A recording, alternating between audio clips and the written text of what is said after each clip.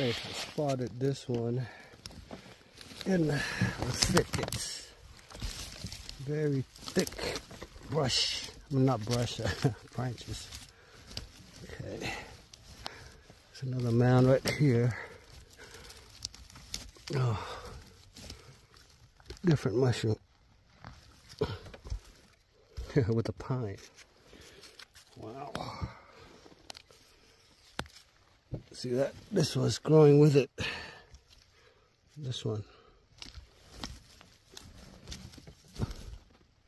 There's another one in there. I can see white over there.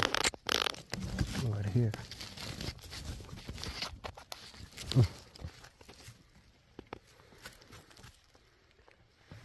Here.